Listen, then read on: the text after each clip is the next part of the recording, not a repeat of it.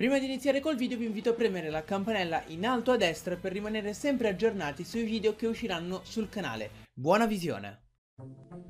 Visto che nello scorso video dedicato a Marshadow avete davvero risposto in tantissimi al mio invito finale di scrivere delle descrizioni riguardanti appunto questo Pokémon, quest'oggi in questo video molto particolare volevo andare a vedere insieme a voi a commentare le 5 descrizioni che più mi hanno stupito tra le vostre che ho trovato nei commenti.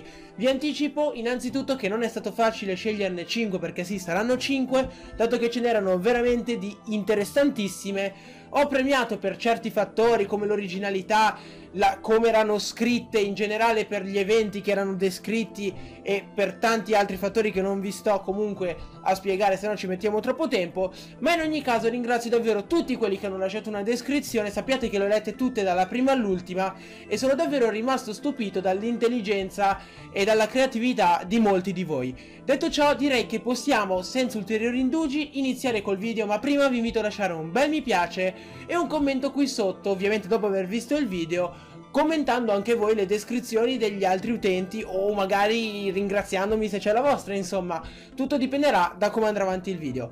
Comunque, ora sto davvero perdendo troppo tempo, iniziamo che è meglio. La prima descrizione ce la fornisce Play Hard.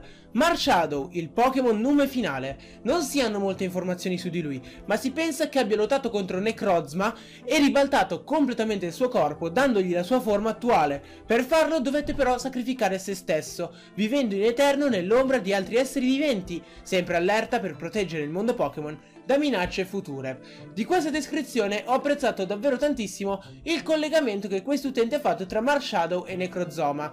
Noi sappiamo per delle evidenti prove, insomma, che questi due Pokémon sembrano essere molto legati. In questa descrizione, questo legame è in realtà uno scontro che avvenne molto tempo fa e che portò Necrozma probabilmente a subire, diciamo, dei danni particolari e Marshadow alla morte. In questo modo Marshadow diviene anche una sorta di paladino della giustizia della regione di Alola, un Pokémon che ha sacrificato la sua stessa vita per salvare la regione da Necrozma, che evidentemente in questa descrizione ha una connotazione molto negativa. Fra parentesi, se io dico Necrozoma anziché Necrozma qualche volta, è normale, ormai sono abituato così e sto cercando di togliermi sto vizio.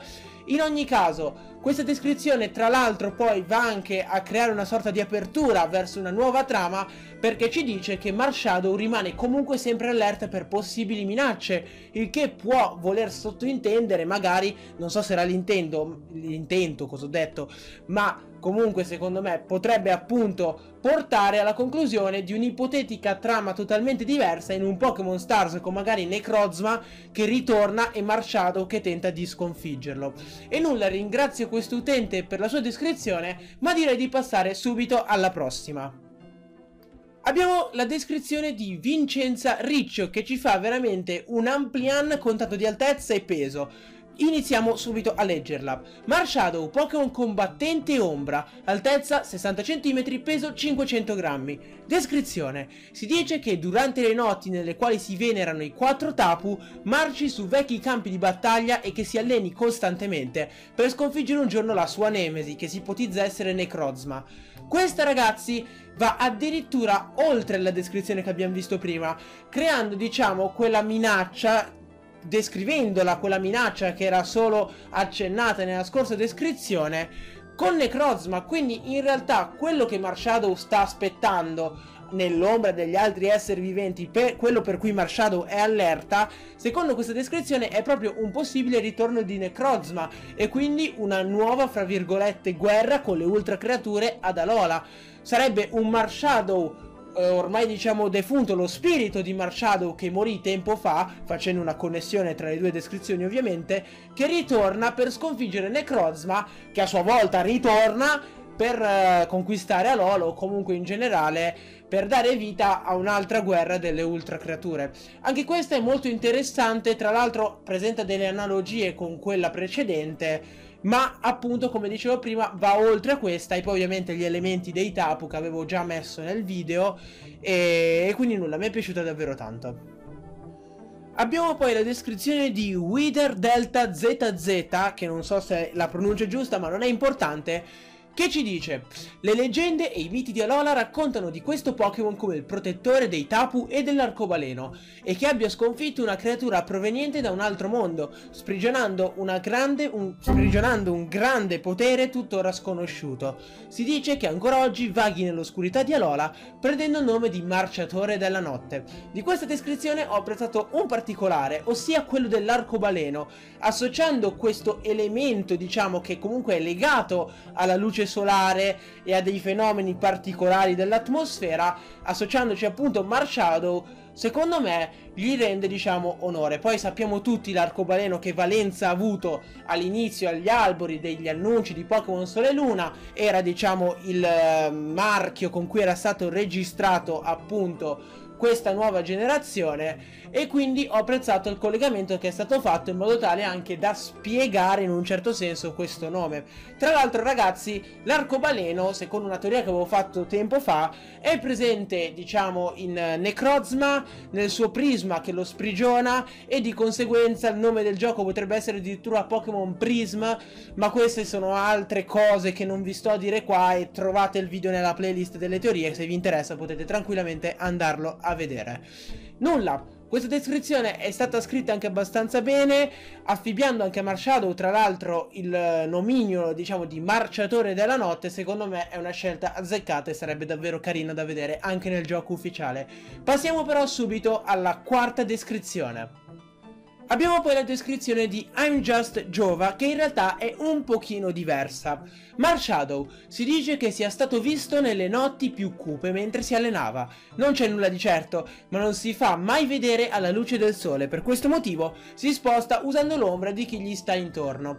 Qua non c'è nessun riferimento a un ritorno di Necrozma o a robe del genere, semplicemente si fa riferimento al fatto che si sposta utilizzando le ombre degli altri esseri viventi perché non vuole farsi vedere alla luce luce del sole. In pratica sarebbe un Pokémon molto timido, fattore che tra l'altro si ritrova in alcune descrizioni che avete lasciato nei commenti di quel video. E nulla, questa descrizione è molto più semplice, quasi più pacifica, un pochino più, fra virgolette, normale. Forse I'm Just Jova è un pochino della teoria che Marciado non avrà sta grande importanza nei, nel futuro Pokémon Stars o comunque qualsiasi nome abbia non ha importanza. E nulla mi sembrava anche giusto portare una descrizione di questo tipo perché altrimenti si fa tu- tutto uguale e non avrebbe avuto molto senso. E tra l'altro anche il fatto che si alleni nelle notte più cupe è molto interessante secondo me per il fatto comunque del video in cui dicevo che si mh, appariva nelle notti, de- nelle notti dei Tapu il fatto che si alleni potrebbe essere davvero interessante tra l'altro anche qui il fattore di mistero non c'è nulla di certo, mi piace davvero tanto, io adoro personalmente le descrizioni che lasciano l'alone di mistero e tra l'altro adesso che andiamo a vedere la quinta, questo alone di mistero è stato massimizzato nell'ultima descrizione che andremo a vedere. Ovviamente ragazzi non ve l'ho detto ma queste descrizioni qua non sono in ordine di bellezza o importanza, sono in ordine abbastanza casuale come le ho trovate. Fatta questa precisazione andiamo subito con la quinta. La descrizione finale è quella di Superlink che ci dice è un Pokémon che si palesa solo in alcune notti particolari. All'apparenza sembra innocuo, ma cela un segreto che nessuno può neanche immaginare. Ho adorato quest'ultima parte per il semplice fatto che lascia un mistero dietro che secondo me sarebbe veramente una figata da vedere nel Pokédex. Tra l'altro si può invece immaginare che questo segreto sia legato a Necrozma e a quella guerra di tanto tempo fa. Magari Marshadow solo conosce il vero segreto di quel Pokémon. Però veramente ho adorato questa parte finale in cui aleggia questo mistero che secondo me calza a pennello nelle descrizioni di Pokémon di questo genere e che vorrei vedere più spesso. Ho poco da commentare su questa descrizione, volevo solo premiarla per questo fattore molto particolare. Detto ciò ragazzi, io spero che il video vi sia piaciuto, l'ho registrato molto di fretta, non so neanche che ora uscirà perché purtroppo ho avuto dei problemi con un altro video che avrebbe dovuto uscire oggi e che probabilmente spero di, fare, di riuscire a far uscire domani. Se vi è piaciuto comunque vi invito a lasciare un bel mi piace, un commento qui sotto e un'iscrizione al canale se non siete ancora iscritti. Commentate anche voi nei commenti, mi raccomando, commentando a vostra volta i commenti dello scorso video in cui avevo chiesto di commentare. Passate dai social in descrizione per rimanere sempre aggiornati sulle attività al di fuori del canale mie o anche del canale, se non dovessi caricare dei video sapete che lo annuncio spesso lì. E passate anche, no, eh, che passate cosa? Premete la campanella in alto a destra, nella home o qui in basso di fianco al nome del canale, per ricevere i feed che YouTube manda. Detto ciò, noi ci becchiamo in un prossimo video.